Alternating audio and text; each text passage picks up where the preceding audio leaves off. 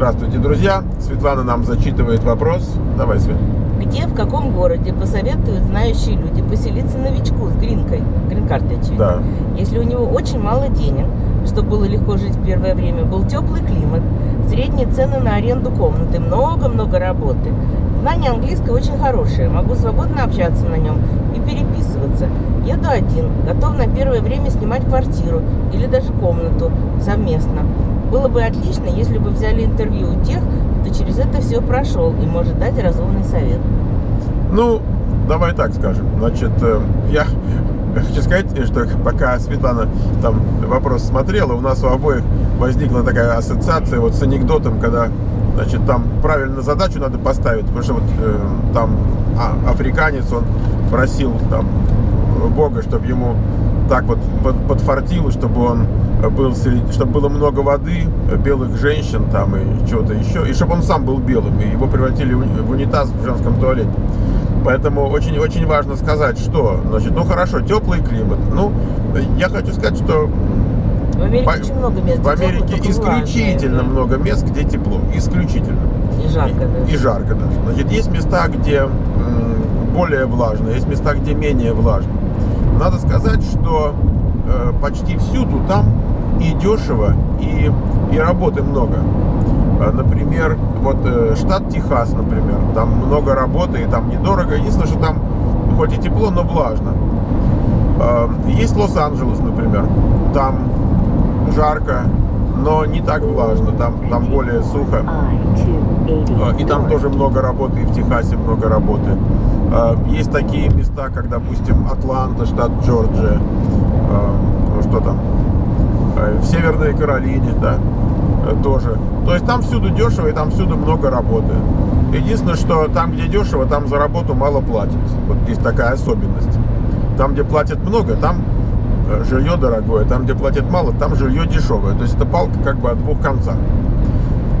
Эм, Я, я думаю, что в этом смысле мы, мы как бы ответили. Когда говорят, покажите людей, мы все время показываем людей.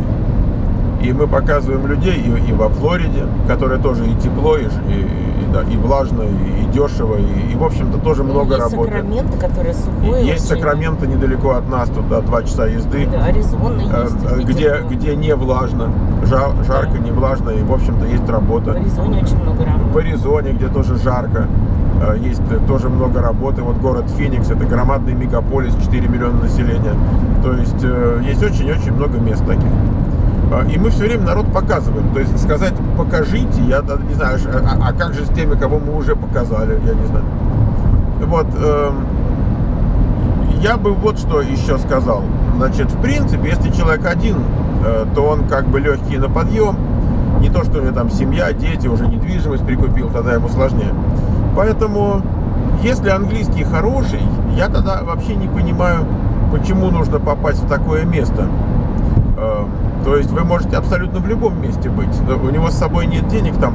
Это хорошо, значит, если английский хороший, вы можете через неделю уже работать, можете на следующий день уже работать. В любой глубинке, где нету русских, Да где... почему в глубинке, где угодно? Нет, ну Ну. где угодно, да, но не ехать в все места, где полно русских и где там Вась-Вась, а можно пойти в, в нормальную глубинку и там в магазин тут же устроиться. Светик, но хороший. проблема глубинки в том, что там не платят и там нет работы. Э, ну, это в правда, глубинке да. нет работы. Да. Обычно русских много как раз там, где работы много, Свет. Это Э, э, Это большие города, это такие... э, э, Иммигранты ж куда едут? Где работы много, где можно жить и так далее. Поэтому э, просто он не завязан на то, чтобы быть там, где русские, да? Но, но они там будут, они же ему не мешают. Он может ехать куда угодно. И даже, я не знаю, я бы сформулировал какую-то задачу, э, цель какую-то на более отдаленный э, период времени. Тогда это поможет э, оптимизировать э, куда ехать сразу, чтобы более отдаленные какие-то цели реализовывались тоже. Потому что как только ты сиюминутную задачу решил, вот у тебя есть крыша над головой, вот у тебя есть какая-то работа, и ты уже как бы перестратил, перестал тратить свои сбережения, и следующий вопрос у тебя возникает, дальше-то что? Понимаете? И для человека, у которого английский хороший, проблема крыши над головой и перестать тратить свои сбережения абсолютно в любом месте решается. Ну, может быть, допустим, я не знаю, в Кремниевой долине тут все очень дорого. Если он делает совсем простую работу, там на, на 10, на 12 долларов в час, ему здесь будет тяжко. Но в абсолютно любом другом месте, значит, на, на те же самые 10-12 долларов в час, он, он будет себя чувствовать нормально. Вопрос в чем дальше, что? Если ты молодой, не обремененный ничем, если у тебя английский хороший, то вопрос возникает, ну хорошо, а где мои 20 долларов в час, а где мои 30 долларов в час, а где мои 50 долларов в час, 75 долларов в час, где? Или, или что, он молодой приехал, чтобы всю жизнь вот это в союз печати качать, там за, за бесплатно, или за 3 копейки, дерьмо качать, крышу над головой обеспечивать и гамбургеры кушать. Но для чего он тут? Как только этот вопрос встанет, сразу ответится вопрос, куда ехать. Понимаете? То есть это вопрос как бы не предполагает будущего.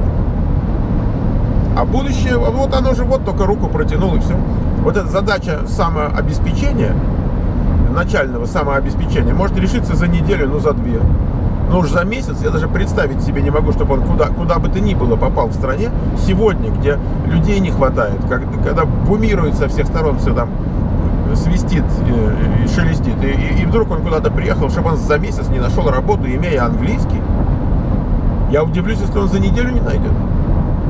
Поэтому вот мой, мой ответ такой, как бы э, издалека начинать. Тогда близкая перспектива, она легко разрешится.